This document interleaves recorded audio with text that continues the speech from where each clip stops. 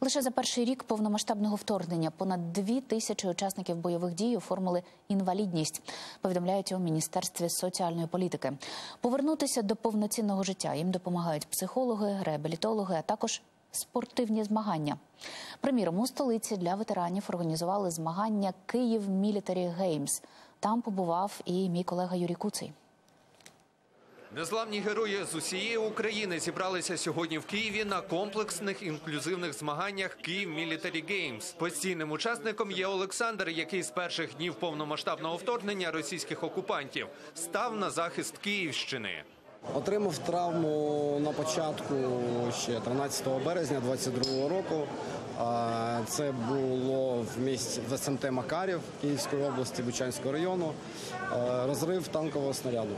Незважаючи на ампутацію однієї ноги, хлопець продовжує жити наповну завдяки спортивній реабілітації. Олександр пишається, що йому декілька разів випала честь представляти Україну на міжнародних змаганнях.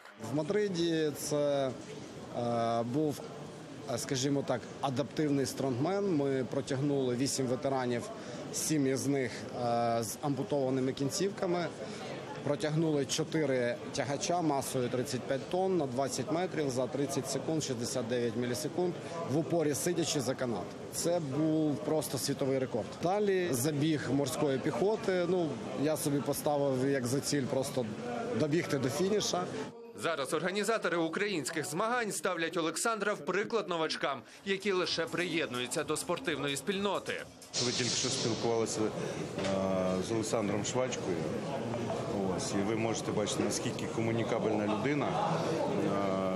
Е, І е, це, між іншим, той позитив, який ми очікуємо від змагань, коли ветеран буває після перенесеної травми, поранення чи то ампутації, трішечки зажатий в собі, перебуваючи тут на змаганнях, їздить, виступає, проявляє себе емоційно і тим самим соціалізується. Він починає більше спілкуватися.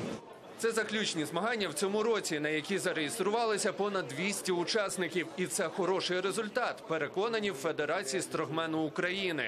У 23-му році, в сезоні 23-го року, ми провели 12 е, комплексних змагань для ветеранів військовослужбовців по всій країні. Насправді відбулося 5 заходів в Києві, і решта в нас відбулись по різних регіонах України. В кожному заході приймало від 100 до 200 учасників.